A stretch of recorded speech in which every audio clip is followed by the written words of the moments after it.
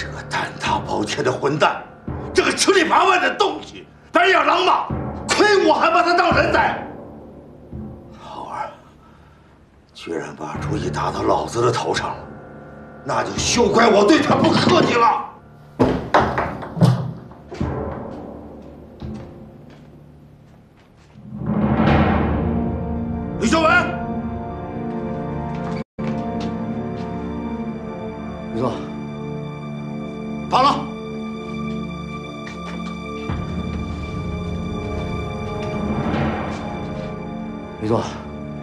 你这是什么意思？李小伟，你自己投靠八路也就算了，居然还跑到我这儿找军火来了，你到底打什么主意？李座，你听我解释。你甭给我解释，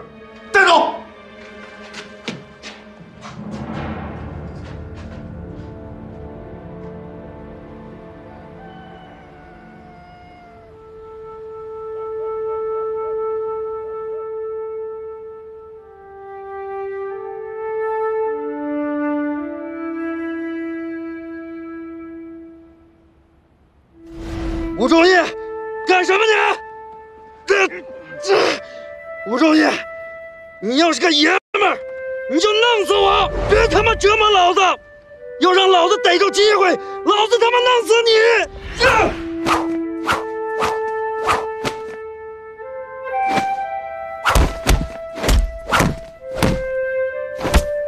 呀做梦做吧！这儿没你说话的份儿。我是国军正规军的连长，论军功、论资历、论天论地，怎么轮不到我？在这个院子里，你最好搞清你的身份。是，我爹娘是不在了，但是我永远是你的大少爷。你从小是吃我们家粮食长大的，你有什么资格命令我？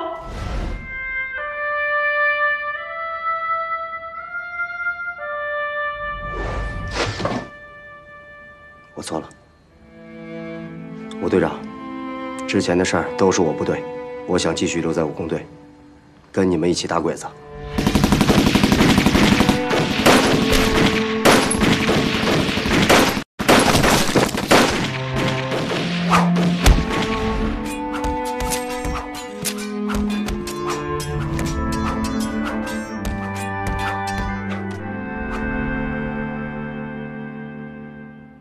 跟你们打了这么多次鬼子，看到你们不顾生死，一次次把不可能完成的任务变成可能，我觉得特过瘾。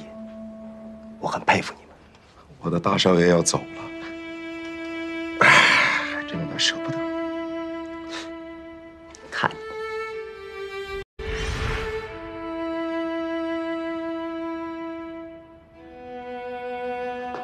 队长，队长，你为啥子要让李安山回国军呢？你为啥子要让他回去？他是个军人，想回到自己的部队，这个很正常。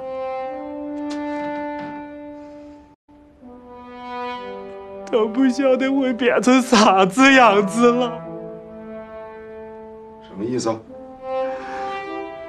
国军那些长官，肠子都是九曲十八弯的，他们一个都信不过。吕连长，他是对我凶，但是他就是个瓜兮兮，他是个直肠子，他斗不过那些人。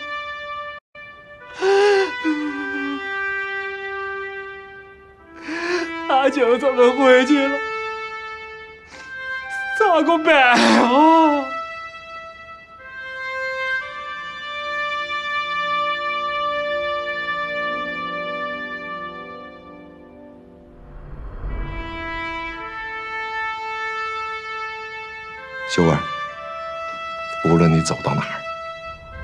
都是中国人，是一家人，是一家人，就不分阵营。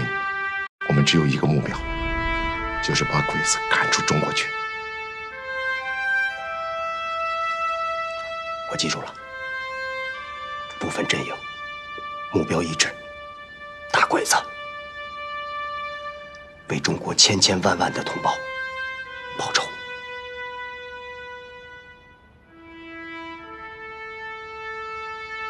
吕总，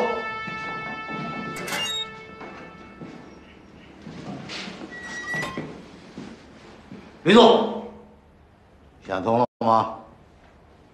想通什么？想通了，你的前程是做一个前途无量的国军军官，还是跟着八路混，把你这辈子的前程给毁了？吕座，属下明白您的好意，可是属下认为，打击侵略者，哪怕是战死沙场，这才是男儿真正的归宿。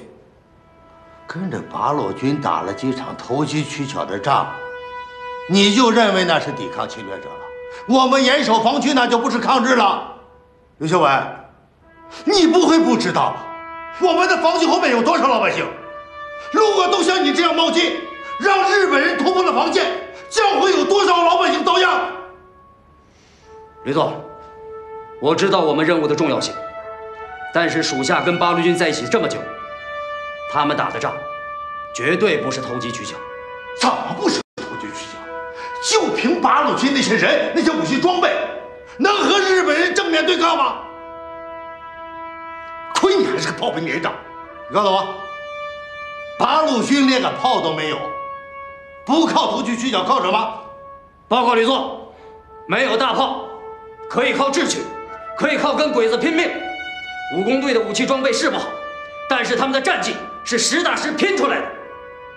属下亲眼看见，他们为了跟鬼子拼命，抱着手榴弹扑到鬼子堆里，跟他们同归于尽。我们国军有勇士，他们八路军也有许许多多的勇士，他们都是英雄，都是好样的。你呀，真是朽木不可雕也。吕座，现在讲的是国共合作，您怎么还有这么深的门户之见呢？吕座，我想问你一句话：如果没有八路军武工队在敌后的活动，拖得鬼子筋疲力尽，我们的防线能这么安然无恙吗？要不是日本人顾忌我们的部队，那八路军的根据地早就被鬼子扫荡光了。所以我们要抛开门户之见，只有精诚合作、同心协力，才能把日本侵略者赶出中国去。委员长说过，攘外必须先安内，你忘了吗？属下认为，委员长的话说错了。你好大的胆！不管八路军还是国军，我们都是中国人，都是老百姓的兵。我们只有一个敌人，那就是日本鬼子。吕座，这么大的一个中国，如果不是我们窝里斗，日本鬼子能打进来吗？秀啊秀啊，你就是吃棉花长大的啊！我以前以为你心软，可是你的耳朵根子比心还软。你是不是让八路蛊惑的都忘了自己是谁了？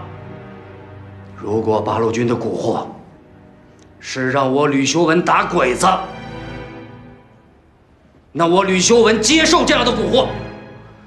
你受了八路的蛊惑，到了我这儿来动摇军心，把我的军火拿给八路军去打仗。我给你一夜的考虑时间。如果天亮之后你还想不明白，你就等着上军事法庭吧。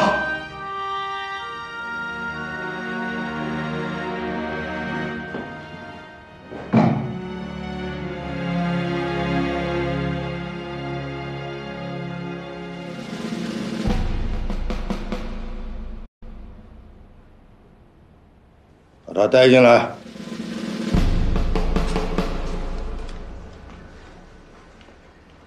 刘秀文，上次日军袭击你的阵地，你下落不明。我问你，你为什么不回营？我这不是回来了吗？第一，你没有及时回营，反而和八路军武工队在一起，这就是叛逃行为，枪毙你都可以的。第二，你现在回营了，居然鼓动我的军官和你贩卖军火支援八路军。亏你们还是军人啊？听了他吹了几句牛啊就替八路军摇旗呐喊丢不丢国军的脸呐啊？愧不愧对党国对你们的培养？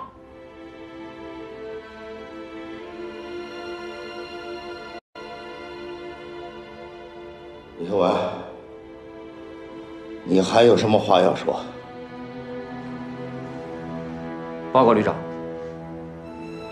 属下认为，作为军人，在今时今日，只有一个职责，那就是抗日。属下在八路军的阵营里进行的也是抗日活动，现在想支援军火给八路军，这是支援友军，不是资敌，因此也是抗日活动。我没认为我错在哪里。我看你是吃了秤砣铁了心了，你不怕上军事法庭吗？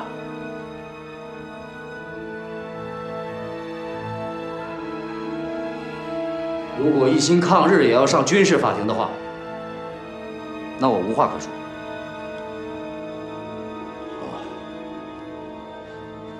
就成全了你，把他押下去，叫军事法庭审判。没想到我吕修文没死在小鬼子的手里，却死在了自己人手里。带下去。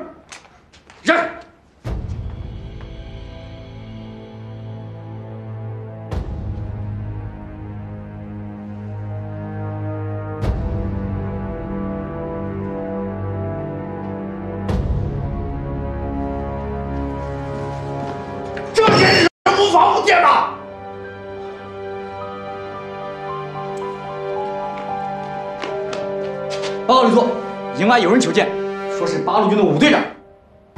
谁？阁下，大部分粮食都被藏了起来，我已经派人四处寻找。宝独固地形复杂，恐怕很难。嗯粮食的事情我已经知道了。既然中国的老百姓这么狡猾，我慢慢的跟他们算总账。江南军，清剿鲁南根据地的命令已经下达了。太好了，我们有了秘密武器，就能速战速决。中国的老百姓不是喜欢为八路军存粮吗？哼，等我们清剿了根据地，那八路军的粮就是我们的粮。阁下，能够大规模使用秘密武器，这一仗我们必胜。嗯前田君，前段时间我们屡屡受挫，但是要记住，我们的肉体可以败，但是我们的精神永远不败。嘿，大日本帝国必胜！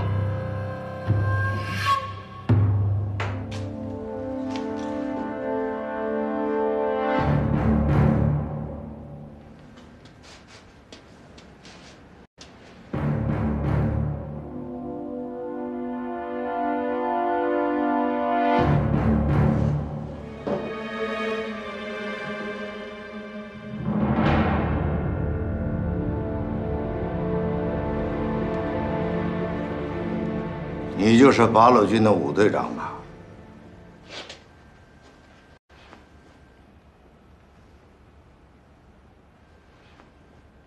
何旅长好，我叫武忠义。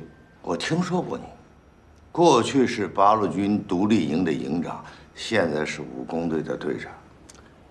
您听没听说过不重要，重要的是，我们现在都是抗日战线的人。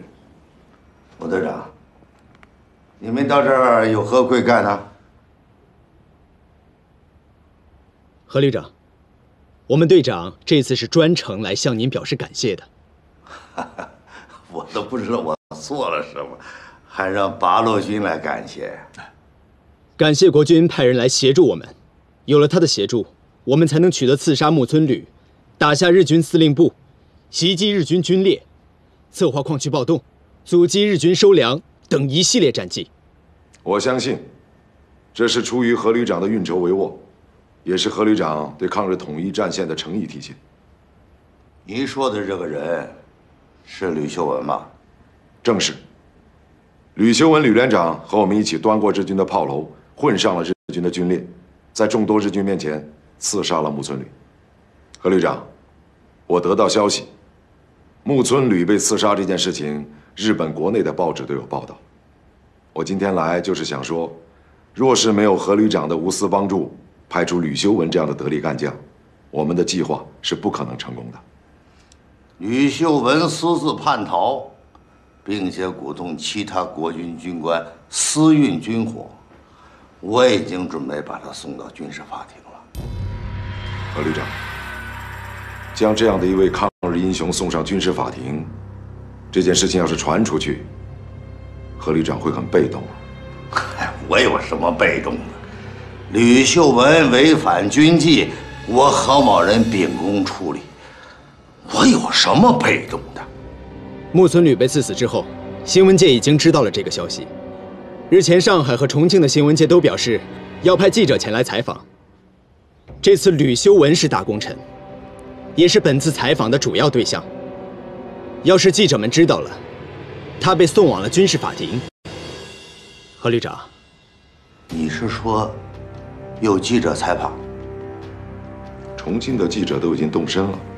听说还邀请了一位美国记者，叫什么怀特的。还有美国记者？何旅长为了抗日大业，抛弃门户之见，共同策划刺杀木村里这件事情，我们是一定会跟记者讲的。何旅长，吕连长虽然违反了军纪，但他也是一心抗日的热血男儿。如今这个非常时刻，是不是要多看看他的战功啊？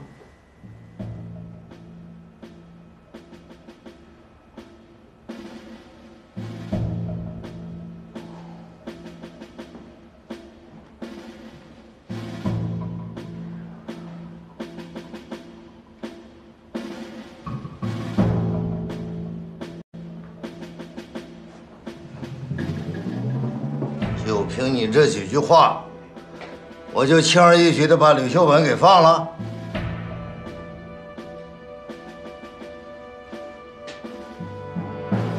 那何旅长，您打算怎么办？那就看你的诚意了。何旅长需要我们怎么做，才算拿出诚意呢？我刚得到情报，日军呢要建一个秘密仓库，我是有心要把这个仓库端掉。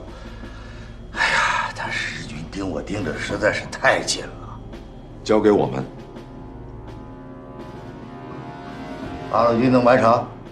攻打日军司令部之前，我也没把握能拿下他。可后来，不但拿下了，还一把火烧了他。好，你把这个任务完成了，我就把吕秀文交给你。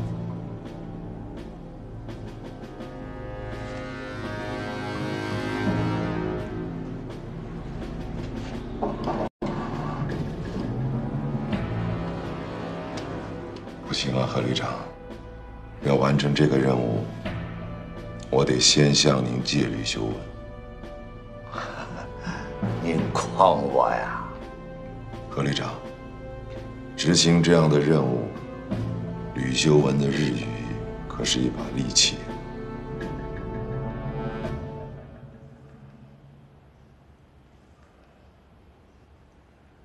记者报道何旅长功绩的时候。何旅长不想再锦上添花吗？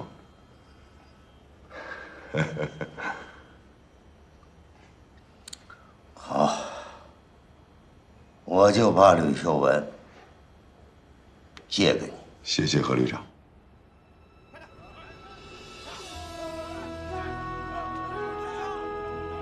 这次多亏了你，真没想到你能来。看看都谁来了。小四川，想我了吗？杨老弟，你都不晓得，我好担心你啊！幸亏老子神机妙算，才把你救出来。哎，以后你就不是我的吕连长了。哎，小四川，就说人家吕连长现在不是连长了，那也轮不着你说吧？凭啥都轮不到呢？我也算是身经百战了。就你们两个来了？铁莲花和其他的武工队员在那边候到起的。吴队长说了，要是把你要不出来的话，那他就带到我们去闯监狱，把你给救出来。哎，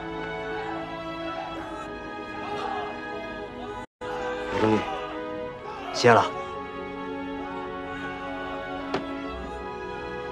哎，吕连长，你现在晓得了哇？国军的那些长官都不是点啥子好东西，你以后跟老子一样，莫回去了。就是啊，吕秀文，以后别老想回来了，跟咱们一块儿多好啊！下次可就没这么容易出来了。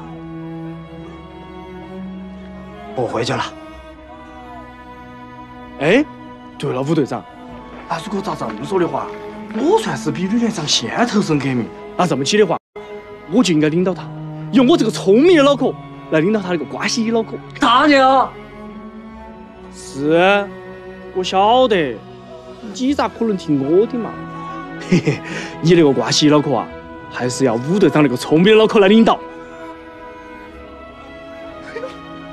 听话头啊！兄弟，欢迎回家。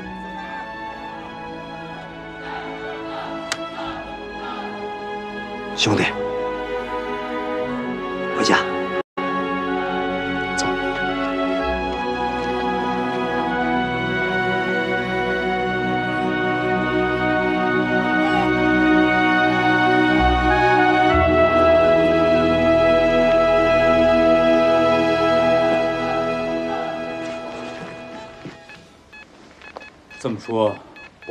说的这个秘密仓库，一定就是这个军火库了。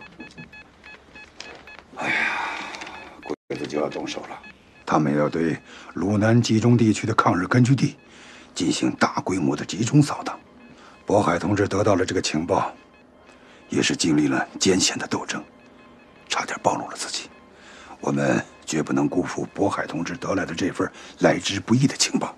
眼下形势非常紧迫。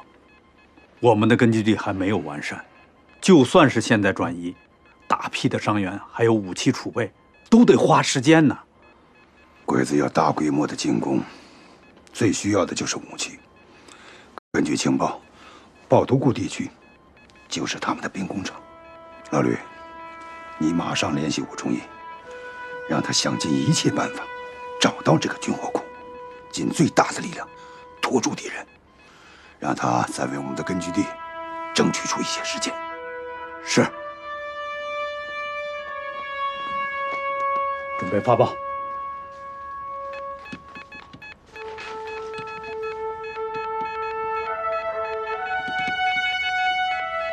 根据地的新任务，大家都听明白了吧？明白了，明白了。前段时间，我们的游击战有力的牵制了敌人的兵力，打乱了敌军的战略部署。为根据地赢得了宝贵的时间，高旅长让我代表他，代表组织，感谢大家。接下来，我们要面对的是更艰巨的任务。根据情报证实，爆毒库的确有秘密仓库这么一回事，但是我们安插在敌人大本营的同志也不知道秘密仓库的具体位置。那我还是算了，反正现在吕连长也不得再回去了。我们武工队的事情那么多，为啥子要去给他找一个仓库呢？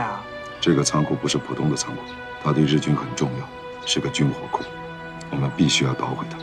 那你要想捣毁的话，那先肯定要找到起噻。再说了，这么个仓库，哪个晓得他藏在哪个卡卡角角后头的哦？哎，不好找就不找了，那鬼子还不好打呢，你别抗日了。我提下意见都不得行啊！我我现在也是武工队的队员。武工队内部开会，那每个人都要畅所欲言噻。畅所欲言是对的。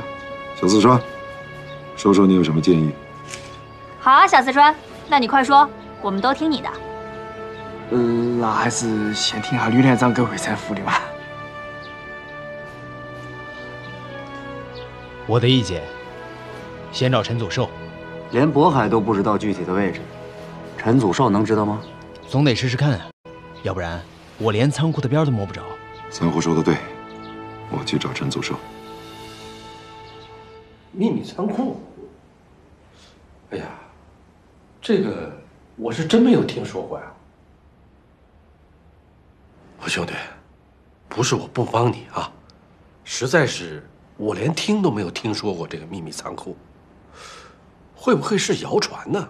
不是谣传，这是可以肯定的事儿，陈长官。这个秘密仓库非同小可呀！啊，我明白了。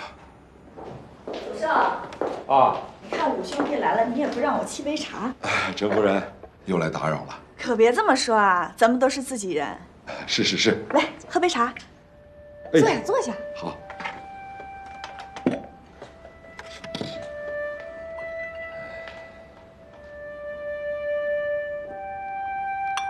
好茶呀，是老君梅吧？五兄弟是行家呀，这是我亲戚从湖南老家带来的，喝着怎么样？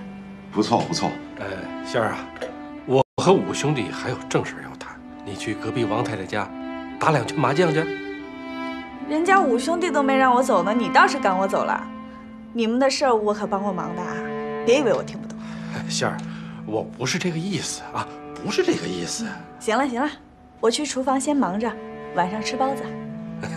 你看，行，你们先聊啊。好。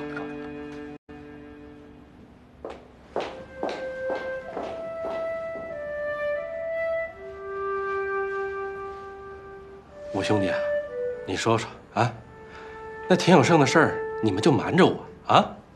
哼，其实我早就看出来了，你和喜妮儿那就不是那么回事儿。你和李医生在……对了，上次在田家村看到的也不是田耀胜的鬼魂，是他本人，对不对？哎呀，算起来我也为你们八路做了不少事儿，你们怎么还是信不过我呀？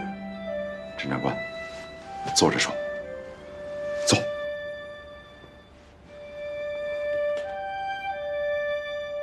陈长官，你别误会，这件事儿我们确实没跟你说实话，不过都是为了田东家的安全考虑。他为了掩护大家装死，这是要冒风险的。这种事儿知道的人越少越好。陈长官，我相信你能理解。哎呀，没想到这有老鼠胆子的人，临了还英雄了一把。说实话，我们也没想到田东家和喜妮的死，我们都很难过。武工队能做的，就是更有力的打击鬼子。那照你这么说，日本人口风这么紧，那这个秘密仓库肯定得是个大家伙。所以我们要干掉他。总不可能不露出一点蛛丝马迹吧？陈长官，你想，一个仓库需要派兵守卫吧？那些守卫总得吃饭，仓库里的东西也得调动民夫来搬运。这些事儿，鬼子总不可能做到密不透风的。现在仅仅知道有这么一个仓库啊，这仓库有多大？这里面装的到底是什么东西？这些一概不知情啊。怎么能知道日本人派多少兵力把守呢？再说，我平时就根本没留意过呀。陈长官，我想请你帮忙打探打探。打探？怎么打探？司令官阁下，司令官阁下，秦想，哎，最近出了很多事情，我这里忙得都不可开交了。我们就要向鲁南抗日根据地开拔了，没有什么事，就不要来打扰我了。嗯，司令官阁下，好事儿，大大的好事儿啊！那你说说。哎，阁下，前些日子土八路使了阴谋诡计，不是让村民老百姓藏了粮食吗？粮食？这次的粮食我们收上来还不到两百石，因为这件事我已经狠狠责罚了前田。这就是你说的大大的好事。属下知道，司令官阁下这些日子正在为这件事情忧心不已啊，所以这段时间属下为这件事儿一直奔波着呢。这村民老百姓虽然没有了粮食，可是乡下有不少大户啊，他们手里头有存粮啊。秦想，中国的事还是你们中国人最清楚啊。你继续说。属下花了好大力气，去动员这些大户主动的向皇军捐粮。您看，阁下，这就是那些捐粮大户的名单。目前认捐的粮食已经有一千两百石了。一千两百石，这足以解我们皇军的燃眉之急呀！秦桑，这次你可是立了大功啊！愿为皇军效劳，这是属下应该做的。司令官阁下，属下想问一下，这粮食怎么运送呢？运送嘛，属下心想，这么多粮食要是集中到一块儿，被八路要是知道了，少不得又得打这些粮食的主意呀。万一出了什么事儿，那可就糟糕了。因此，属下觉得化整为零，反正这些大户也是分散在各个村子里头，直接从村子里把粮食运到该去的地方。第一，节省时间路程；第二，这安全性也大大的提高了。哟西，秦桑，你办事果然是周到细致啊！全盟司令官阁下栽培，为司令官阁下分忧解难是属下的本分。粮食怎么送？回头我会给你一个分配的方案。秦桑，嗨，这次就由你来负责。如果需要帮忙，可以去找前田。多谢司令官阁下。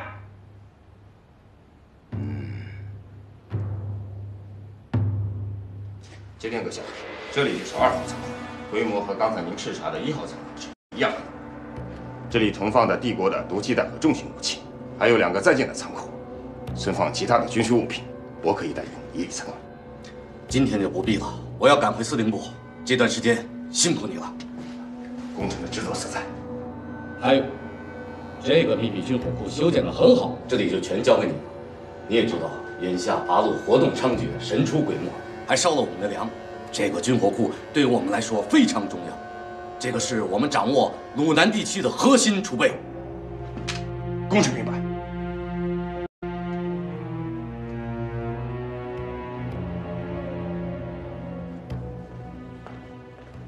五兄弟，这粮食的分配方案我已经拿到手了，你看一下，你看能不能派上什么用场？好啊，多谢陈长官了。嗨，这不是互相帮忙吗？你们武工队这几仗打得漂亮，小鬼子蹦跶不了几天了。你看我这里，陈长官放心，你现在也算是有功之人了。你的功劳我会向上级报告，就算我武忠义死了，也有人会记得你的功劳的。哎呀，兄弟，你怎么能这么说话呢？你得好好活着，将来那还得飞黄腾达呢，是吧？至于我这点事儿吧，就算是我陈某人的一点爱国之心，算不了什么。好啊，好。哎，陈长官，我多问一句啊，啊，这些大户们是心甘情愿的捐粮吗？嗨，那替鬼子封官许愿，对我来讲就是轻车熟路啊，绝无逼人捐粮之事。只是可惜了，这一千两百石粮食啊，便宜了小鬼子了。要收获就要有付出嘛，让大户们捐粮，总比鬼子抢老百姓的粮食要强。况且，咱们这次的付出也是为了狠狠的打鬼子。吴兄弟说的是啊，这样一来，我陈某人也觉得我这一次是积了不少功德呀。那当然，那当然。陈长官以后一定要多多积德，这样才能多福多寿。一 定一定，哎，一起多福多寿啊！多福多寿。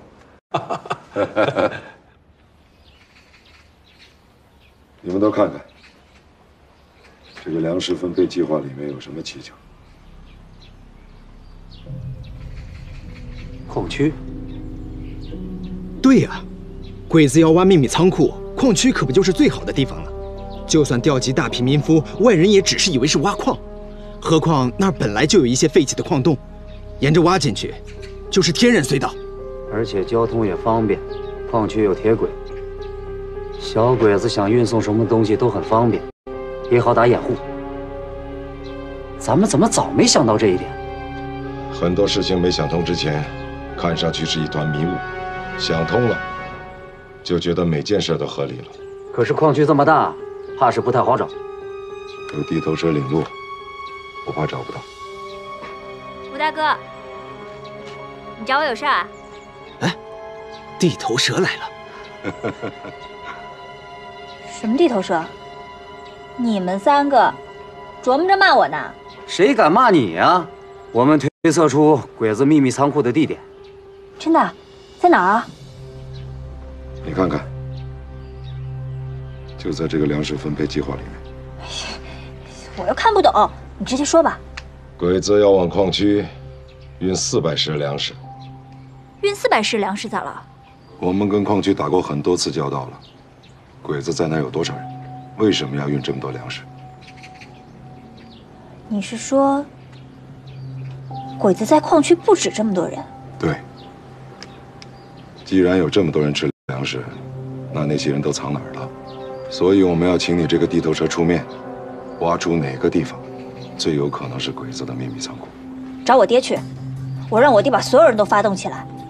只要这个秘密仓库在我们矿区，就算他藏得再深，我们的人也能把他挖出来。这小鬼子是挺贼啊，真把这个秘密仓库建立在我们的矿区这儿了。你不说，我还真想不到这儿。铁大当家的，你得好好琢磨琢磨，鬼子的这个仓库最有可能设在矿区的什么地方？哎呀，这个我还真不知道。那矿上事儿你也知道，你没看到处挖的全是洞，真是小鬼子找个洞挖进去做秘密仓库，你还真不好找。不过你放心吧，我这就吩咐下去，把弟兄们撒出去找。小鬼子想在我的矿区里捣乱，这回我就让他知道马王爷为什么三只眼。你看啥呀？赶紧吩咐弟兄们撒人去找去。哎。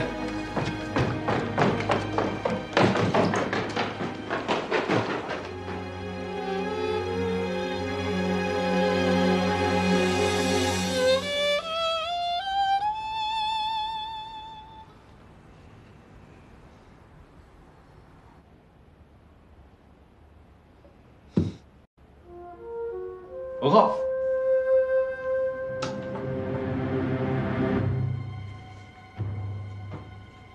前田阁下，您找我？当家的，当家的，哎，有眉目了，有眉目了啊，有眉目了！来来，吴队长看，我说能找着，他指定能找着。来来来来，你指在哪儿呢？啊，这这这，鬼子派了两个小队在这守着，轮班的，白天黑天都不断人儿。哎，你咋还撂蹶子呀，当家的？我说你是猪脑袋呀！啊，这不就是个矿井吗？一天到晚出矿石呢，你怎么不动动脑筋呢？那不有鬼子守着呢吗？啊，有鬼子守着就是秘密仓库啊！那这么多矿上都有鬼子守着，那个个都是秘密仓库呗？兄弟，你得找有鬼子戒备，但是又不出矿石的地方。你想想，那是个鬼子重要的秘密仓库，附近一定会有人封锁，不会让人靠近。要是你都能走到矿洞附近，那说明肯定不是，明白吗？你听听，你听听，人家武队长说的多好，这这一说我就明白了，哪像你呀，就会撂蹶子。你再说我踢死你！我告诉你啊，我可夸下海口了。如果找不到，丢我的脸，你们一个个都给我当心点啊！快去找去！哎，我去，还急眼了。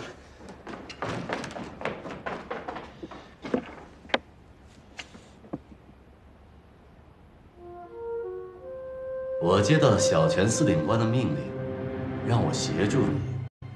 我想问问下一步的行动计划，陈三，你有什么吩咐啊？哎呀，阁下，那我是块什么料？您还不清楚吗？我怎么能指挥阁下您呢？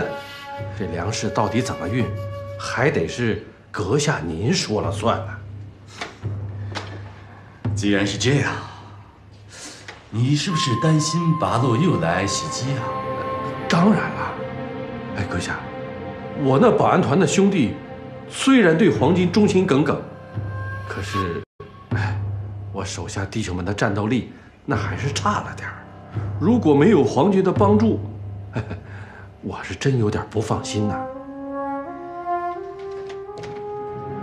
这点，请你放心，陈桑，我会派我的部队协助你的。那就多谢阁下。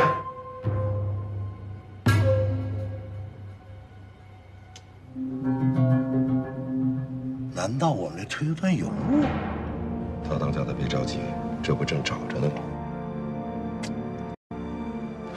我这帮弟兄们呐，是光能吃饭不能干事儿，都是一帮猪脑子。你想让他们找到，那是不可能的。大当家的，小鬼子又不是神仙，他们还能把仓库建到天上去？只要这秘密仓库在矿区，一定能找出来。那在哪？哎呀妈呀！大家，累死我了！你别你别，哎呀妈呀！我这腿都要累折了。不是你找没找着啊？没有。没找着，你回来赶紧继续找去。那像武队长说的那儿地方没有。那没有就不找了，出去找去。那你没有，你让我咋找啊？我问你，这矿区里面戒备森严的地方在哪？